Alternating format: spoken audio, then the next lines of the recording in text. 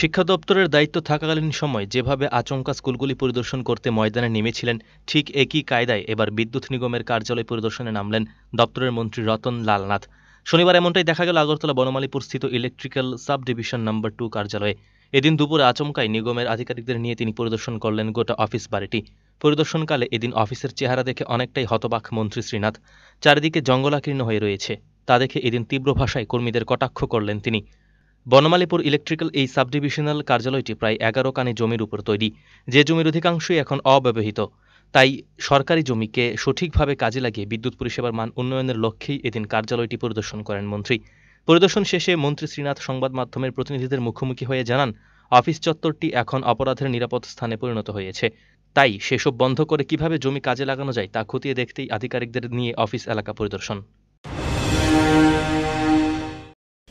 এটা বিদ্যুৎ নিগমের।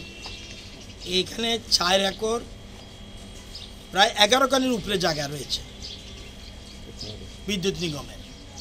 এটাকে সম্প- এটা বহু বছরের, অনেক বছরের পুরানো বিল্ডিং রয়েছে। অনেকগুলি অনেকগুলি ডিসমেন্টাল করার মতো প্রয়োজনীয়তা এসেছে। আরও অনেক জায়গা খালি পড়ে আছে। এই জায়গাটাকে সঠিকভাবে এটা ক্রাইম একটা প্রাইম জায়গাতে এই এই জায়গাটা। সুতরাং এটাকে যাতে আমরা সঠিকভাবে কাজে লাগাতে পারি একটা কম্প্রিহেন্সিভ একটা প্ল্যান করছি আমরা বিদ্যুৎ নিগম থেকে। এটা কি করা যায়? এবং যেমন যেমন বিলিং অফিস বা division one sub division one sub division one sub division two এখানে বিল্ডিং হচ্ছে। সবটা জায়গাকে সুন্দর করে আমরা জায়গাটা আমাদের জায়গা আমাদের রাজ্যের জায়গা সবচেয়ে সংকটের মধ্যে রয়েছে। সুতরাং এখানে যখন একটা প্রাইম জায়গাতে আমাদের জায়গা রয়েছে, এই জায়গাটাকে জায়গাটাকে আমরা নিগম কীভাবে সঠিকভাবে ব্যবহার করতে পারি, সেই জন্য একটা চিন্তা ভাবনা। এখানে bureau report search India TNN